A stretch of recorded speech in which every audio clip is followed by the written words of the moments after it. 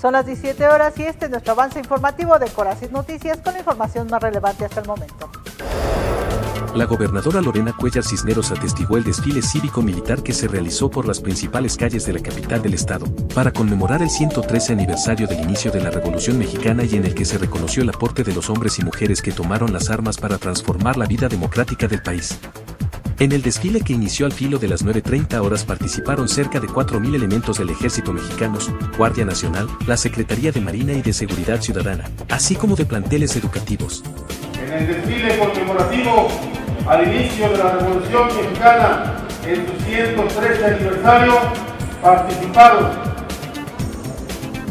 ocho banderas nacionales, 607 militares en 29 vehículos oficiales del Ejército y Fuerza Aérea Mexicano, 30 elementos en 5 vehículos de la Guardia Nacional, 20 marinos en 5 vehículos de la Secretaría de Marina Armada de México, 192 elementos en 58 vehículos y 11 sensores caninos de la Secretaría de Seguridad Ciudadana, 600 docentes y 2.440 alumnos de diferentes planteles educativos, así como 25 escaramuzas en 25 caballos de la Asociación de Escaramuzas y 25 jinetes en 25 caballos de la Asociación de Carros.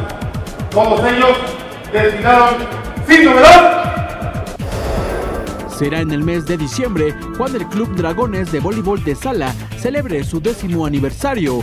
El entrenador y creador de este club, Carlos Rosete Soria, señaló que este año lo cerrarán de manera positiva al alcanzar los propósitos deseados.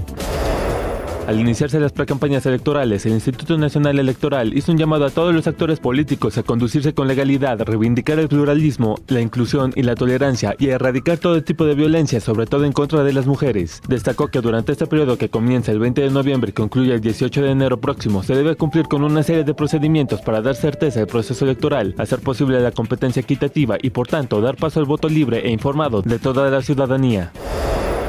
28 bebés prematuros evacuados del hospital Al-Shifa de Gaza el fin de semana llegaron el lunes a Egipto.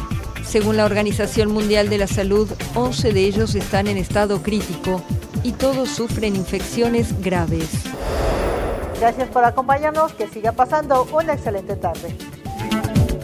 Coracit Noticias presentó.